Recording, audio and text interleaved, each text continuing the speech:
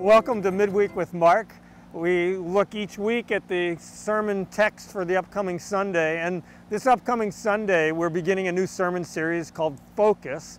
And we'll be looking at Luke chapter 15, verses 1 through 10, familiar parables of Jesus about the lost sheep and the lost coin. And what I'm so struck by is how personally the woman takes losing her coin, or how personally the shepherd takes losing that sheep, he's going to go after it, leave behind the 99 and go after that one. And it says when he finds it, he says to his friends and neighbors, Rejoice with me, for I have found my sheep that was lost.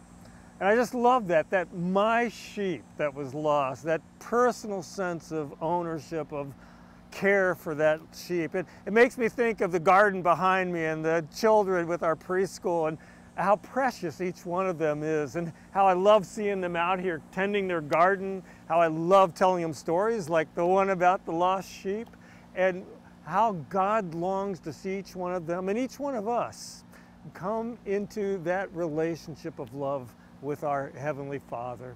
May that be our focus this coming fall. May, be that, may that be our focus for us to come and to encourage others to come into that loving embrace of our God. Let's pray together. God, thank you so much for the wonderful stories you have told us and for the privilege we have of being a part of your story of drawing people, finding people, helping people, ourselves included, come to you and into your love. God, help us to do that this fall. We pray in Jesus' name. Amen.